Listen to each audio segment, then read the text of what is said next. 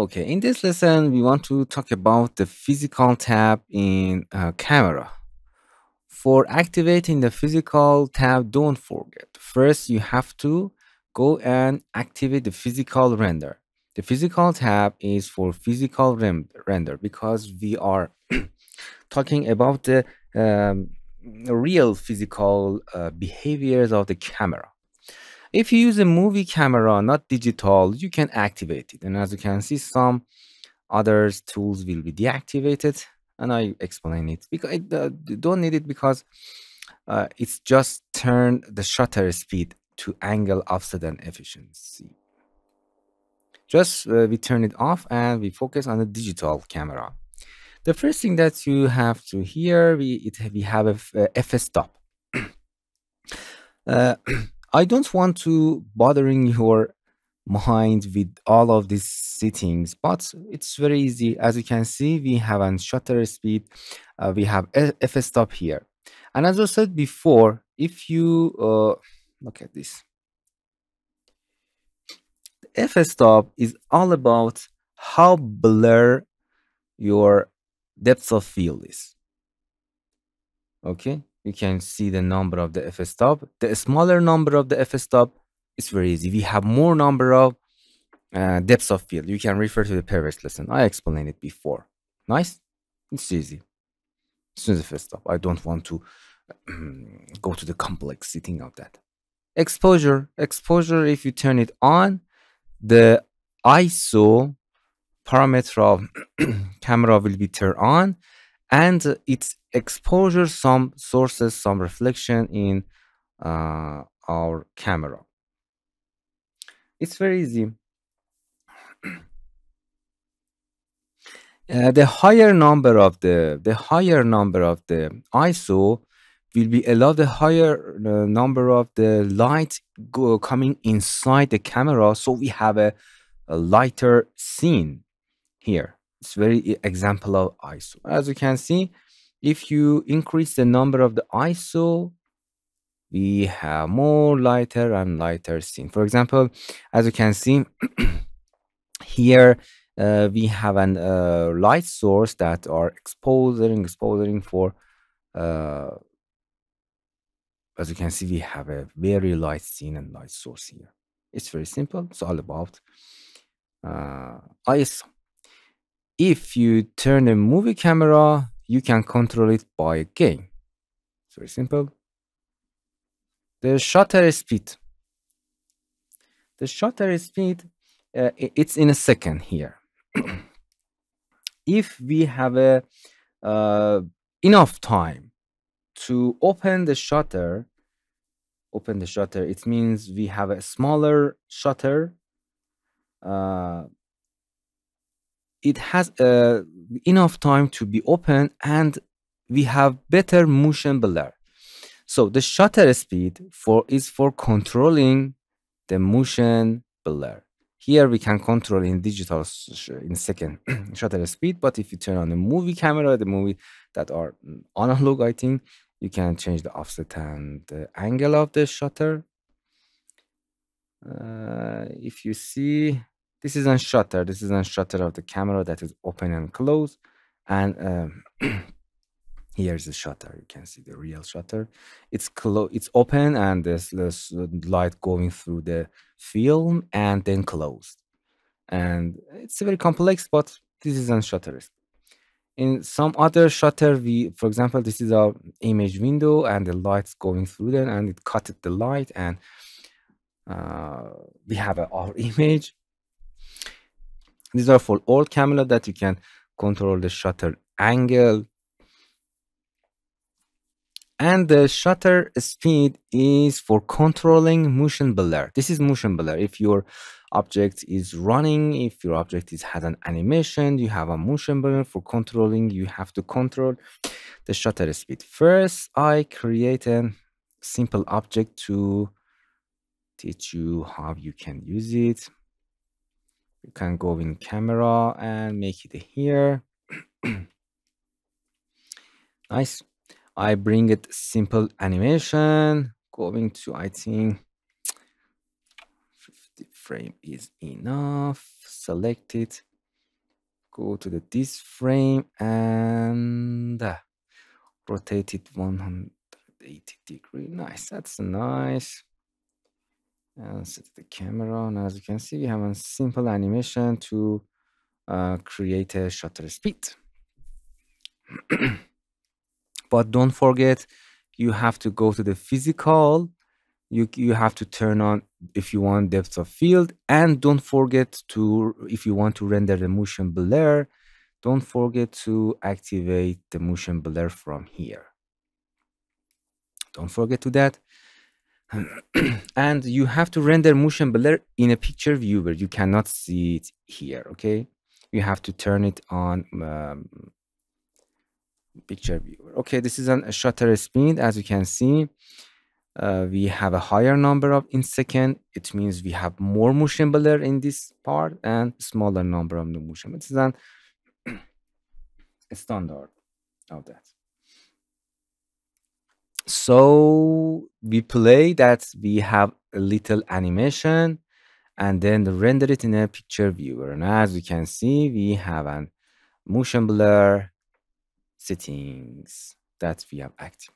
You have to play uh, some frame to activate the motion blur and then render it in a picture viewer then you can see your motion blur. It's very simple. If you want more motion blur here another play and as you can see we have wow very high number of the motion blur. So make it standard. Right click to make it standard in a second. Okay yeah, let's come here and uh, here. So shutter speed as you can see. If uh, this is uh, this fan is turning and a higher number in second it means the shutter has more time to be open and more light come through camera and we have more motion blur. Nice. Sorry. And shutter efficiency the setting here the shutter efficiency. It control the efficiency of your motion blur. What does it mean? For example as you can see if we have 100% efficiency you can see the main object and a little offset of the blurriness in of the um, around it. The efficiency of uh, half of the uh, 15 50 is nice and as you can see we have we can see a little of the main object and little of the blur but as you can see if you don't want to see the main object you can make it a zero so efficiency is all about seeing the main object. That this number is good. Lens distortion in quad on cubic we use a quad. It's very simple. For example, if you have a, a cube here and it's in a, in this direction, render it in a picture viewer and then we're going to the camera and uh, lens distortion and higher number. In a positive number as you can see we have some distortion of of object or negative of that number the object going inside. As you can see you can control the lens distortion. You can see it better with this image lens distortion. This is all, for example, no distortion, distortion a positive number, negative number. You can see lens distortion very easily. Vignetting, it's all about uh, creating a uh, dark, uh, dark background around our canvas. It's very simple. If you want to use, you can add a background and that's good. Going to the camera and a little number of the vignetting and here you can see the vignetting effect at the around our a higher number. Yeah as you can see you can see a smaller darker number of the vignetting around our render. Yeah This is vignetting. And you can offset it, move it in any direction that you want. Chromatic aberration, it means you can uh, separate the blue and red uh, color and create an interesting effect. Uh, like this example. yeah. This is an VTOP aberration. Look at this. And as you can see, we can, with the aberration, chromatic aberration, you can see the blue and the red color and create a, such an interesting effect. Just it. And diaphragm shape. Uh, if you open it, we have an, some settings here, ballet, angle, bias, and I, uh, anisotropy and shader. What's this?